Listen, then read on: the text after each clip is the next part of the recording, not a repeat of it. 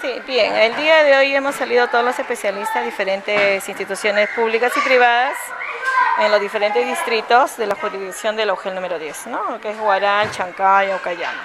¿Cuántos eh, aplicadores aproximadamente han salido de esta zona? Aplicadores, 200.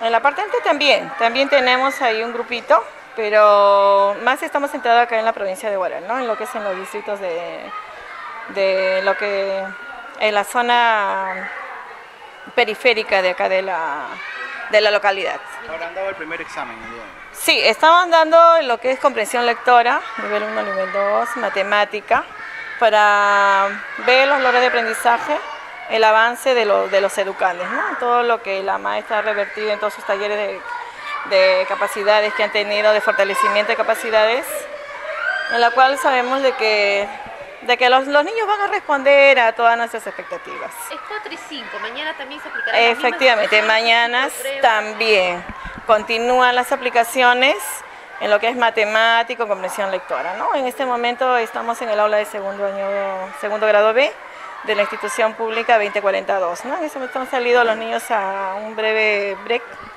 Sí, después van a retornar a, a retomar la prueba. Bueno, el 2011 hemos avanzado, pero este año tenemos muchas más expectativas a que se logre un poco más en lo que es la comprensión lectora y matemática.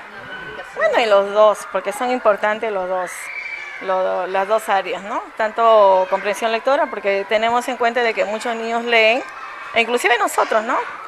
Leemos tanto, pero a veces no, no entendemos. Entonces, es ahí donde se ha hecho bastante énfasis en los talleres de capacitación, viendo estrategias de, comunicación y matemáticas, ¿no? para que las maestras puedan eh, revertir en sus aulas todos esos conocimientos que ellos han, podido eh, tener en las capacitaciones que ha realizado la UGEL.